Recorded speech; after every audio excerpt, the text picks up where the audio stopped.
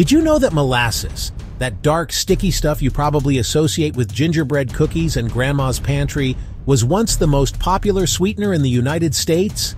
That's right. Before refined white sugar took over the world, this syrupy byproduct of sugar production was king. It was cheaper, it was readily available, it packed a nutritional punch. But like many great things, it was pushed aside for something newer, shinier, and, well, whiter. We're going to pull back the curtain on this forgotten champion of the sweet world. So grab your apron and let's get sticky. Alright, let's demystify this substance.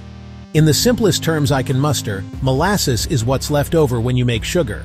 Imagine you're at the beach, and you scoop up a bucket of wet sand. You let the water drain out, and what's left behind is the sand. In our sugary scenario, the sugar crystals are the sand. The dark mineral-rich syrup that drains away is the molasses. It's the concentrated juice of the sugarcane plant, stripped of most of its sucrose, but holding onto a whole bunch of other good stuff. Not all molasses is created equal, light, dark, blackstrap.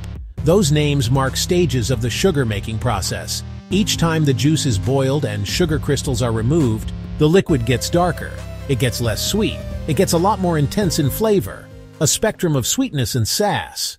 So, how do we get from a stalk of grass to a jar of syrup? It all starts with the harvest.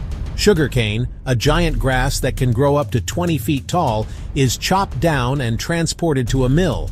Once there, the cane is crushed, shredded, and pressed between massive rollers.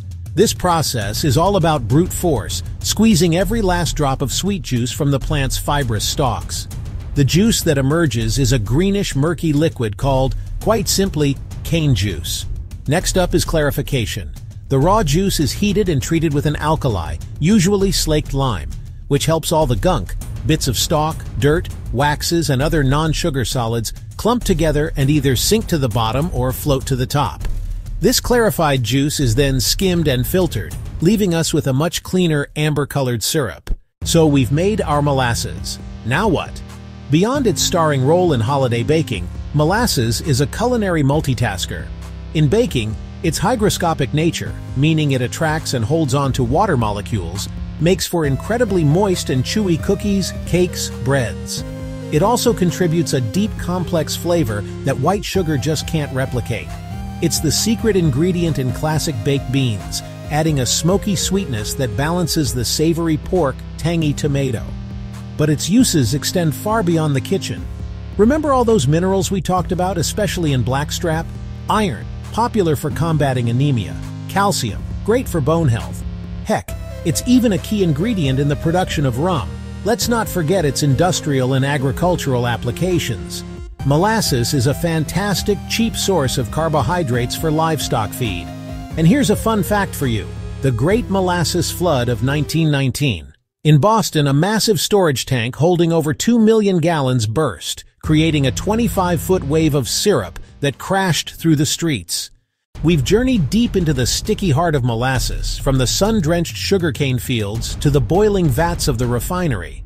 We've seen how simple cane juice is transformed through a gauntlet of heat and pressure into light molasses, into dark molasses, into blackstrap molasses. We've learned that it's not just a sweetener, it's a flavor agent, it's a texture enhancer, it's a health supplement, it's even an industrial workhorse. The next time you open a jar of molasses, I hope you'll see more than just a thick, dark syrup. See the science of crystallization. See the story of a byproduct that became a star. See the potential for incredible flavor in your own cooking. Move it from the back of the cabinet to the front. It's earned its place. The beauty of food science is that the learning never stops. Understanding the how and the why behind our food makes us better, more creative cooks. What are your favorite ways to use molasses? Family baked beans recipe? Secret barbecue rub ingredient? Any other misunderstood ingredients you'd like me to tackle next? Leave your thoughts, questions, and brilliant suggestions in the comments below. Now, go get cooking.